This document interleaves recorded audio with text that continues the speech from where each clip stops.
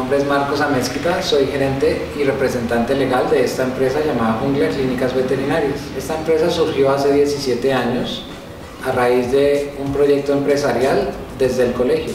Inicialmente, eh, esta empresa era pequeña como la mayoría de las empresas, cuando inician. Eh, se dedicaba más que todo a la comercialización de productos veterinarios y algunos servicios como peluquería o spa para caninos y felinos. A partir de ahí, ya con la, experiencia que íbamos eh, teniendo, surgió la idea de la doctora María Cristina de empezar a estudiar medicina veterinaria para poder ofrecer diversos servicios médicos a la comunidad. Hoy en día eh, estamos enfocados básicamente en, en lo que son servicios médicos veterinarios. Ofrecemos diagnóstico, prevención y tratamiento de enfermedades en caninos y felinos. Gracias a los principios que tiene nuestra empresa, que son principios de, de calidad en calidad integral en todos sus servicios y productos que ofrece. Eh, nos hemos prácticamente especializado en observar todas las normas y todos los protocolos que existen actualmente.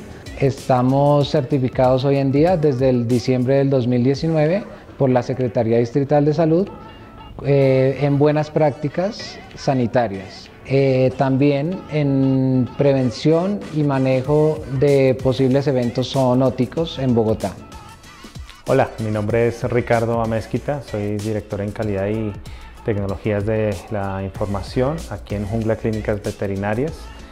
Eh, puntualmente estoy con el énfasis directo sobre los procesos de la clínica que estén estandarizados y acoplados a las, a las normas legales vigentes, que se puedan hacer seguimientos y trazabilidad sobre todos los eh, procedimientos que se realizan en la clínica, en garantizar también que las personas contratadas por Jungla Clínicas Veterinarias, como médicos veterinarios eh, cumplan las, las, normas, estén capacitados. Eh, hola, mi nombre es María Cristina Genoy, soy médico veterinario, eh, estoy vinculado a Jungla Clínicas Veterinarias como directora operativa.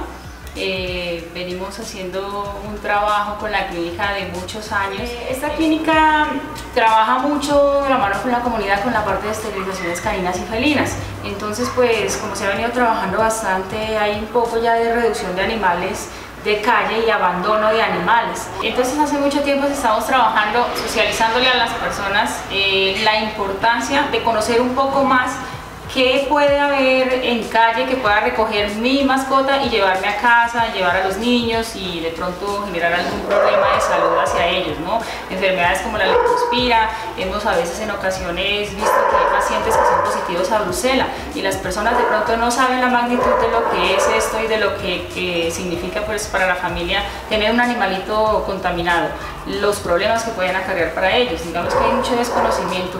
Eh, se trabaja muy poco este tema entre la parte de, la, de lo que es el médico veterinario y de lo que es el médico humano también, al de pronto eh, socializar un poco el tipo de enfermedades que hay que les puedan contaminar los animales. Se habla muchas veces de que salir del gato porque está embarazada, pero no se dice el por qué, el qué debo hacer de pronto para prevenir que mi gato no tenga ciertas patologías que me puedan afectar si es que hay una persona de la familia que esté en embarazo. Pues trabajamos mucho en el tema de vacunación, hacemos muchas campañas, trabajamos con fundaciones donde se hace vacunación de rabia gratuita, precisamente también para seguir ayudando con el tema de disminuir los accidentes de rabia que puedan haber en la comunidad sobre todo en comunidades como estas que a veces pues los recursos son limitados, entonces ese es otro, otro, otro programa que se trabaja aquí en la clínica. Ser médico veterinario es esto, tener un lugar que cumpla con toda la normativa para que así tú puedas estar tranquilo de que llevas a tu canino a tu felino a un sitio donde efectivamente no le van a afectar eh, porque te lo atienda cualquier persona, porque le dé algún medicamento de pronto que no corresponde y en esta zona en especial se ve mucho eso, puesto que hay mucho informalidad de trabajando con medicina veterinaria. Entonces al nosotros llegar aquí dijimos vamos a colocar algo que cumpla, que tenga todo lo que se requiere. Entonces por eso nosotros hace poco eh, tuvimos varias visitas de Secretaría de Salud, hemos tenido visitas de ICA, eh, ha estado bomberos, todas las entidades que regulan la parte de funcionamiento de establecimientos. En ellos entonces se vino trabajando un programa en el cual se, se hizo que los establecimientos de manera voluntaria cumplieran con la normativa. Entonces ahí fue donde arrancamos con todo esto, llevamos varios meses en los cuales nos pusimos a leer la norma, a ver qué es lo que necesitamos para que un establecimiento que esté dirigido a los animales de compañía tenga todo, toda la normativa y todos sus cumplimientos.